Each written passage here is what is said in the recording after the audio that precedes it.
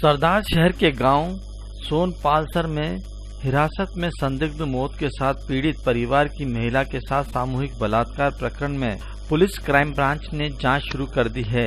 जाँच ADG crime B L Soni के निर्देशन में की जा रही है। पीड़िता ने आधा दर्जन पुलिस कर्मियों पर मारपीट और सामूहिक बलात्कार का आरोप लगाया है। एडीजी बी एल सोनी ने कहा, रिपोर्ट शीघ्र ही पुलिस महानिदेशक को सौंपी जाएगी। डीजीपी भूपेंद्र यादव ने बताया कि रिपोर्ट में दोषी पुलिसकर्मियों पर कार्रवाई होगी। उल्लेखनीय है कि हिरासत में मौत के मामले में शुक्रवार को चूरू पुलिस अधीक्षक राजेंद्र कुमार को एपीओ और सीओ भवरलाल को निलंबित कर दिया गया है। इधर इस मामले को लेकर शनिवार को विभिन्न संगठनों ने जयपुर के पिंक सिटी प्रेस क्लब में प्रेस वार्ता कर सीबीआई से जाँच की मांग की। मृतक युवक के समाज के लोगों ने उसकी मौत के जिम्मेदार लोगों को सख्त से सख्त सजा देने और संबंधित दोषी पुलिस अधिकारियों को बर्खास्त करने की भी मांग की है।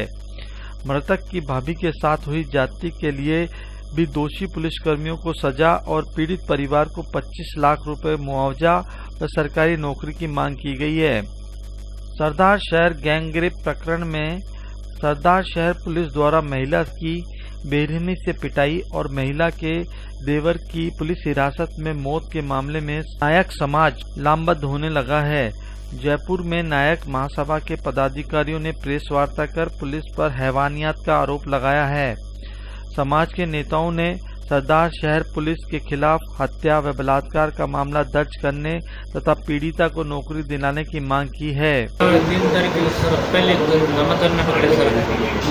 में तीन दिन रात बाद की भाभी पकड़ ले गया, सुबह करके। चौक पिटाई बस सके बाद में नेमतन ने हमारे भी में तेरा इंत आ गया है तेरा पिताई दिन दिया बारह बजे रात की बाद में तक आठ बजे शाम ले रहे हैं रात की बारह बजे पूगे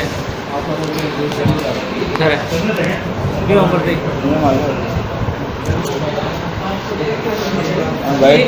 सरदार शहर थानाधिकारी रणवीर सिंह सहित पुलिस कर्मियों ने खाकी वर्दी में सारी मर्यादाएँ तोड़ दी। उन्होंने पीड़िता के पैरों के नाखून उखाड़ लिए। विभिन्न दलित संगठनों के पदाधिकारी सोन पालसर गाँव पहुंचकर मृतक व पीड़ित महिला के परिजनों से मिले। हत्या व रेप का मामला दर्ज नहीं किया तो पूरे प्रदेश में दलित समाज के लोग पुलिस के खिलाफ सड़क पर उतरेंगे। अगर तीन दिन बाद में नहीं चलने के आ गए मैं तो रहा पूरे सर।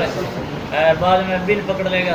बाद में तीन दिन बाद मेरे घर का ताला तोड़ लेगा। सर करे आगे सरपंच आके ताला पता है।